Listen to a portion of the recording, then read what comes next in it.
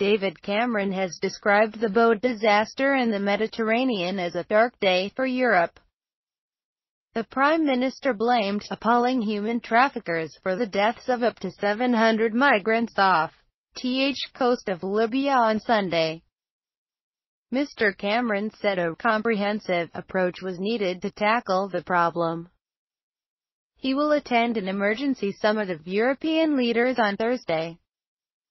Labour leader Ed Miliband said, rescue patrol operations should be restarted. Mr. Cameron spoke to Italian PM Matteo Renzi by phone on Monday, and backed his call for an emergency European Council meeting on the migrant crisis. UK Foreign Secretary Philip Hammond and Home Secretary Theresa May met with other EU ministers in Luxembourg on Monday to help form a series of measures to ease the situation. It was decided at the meeting that the EU's Triton patrolling service would be strengthened with extra funding and an increased operational area.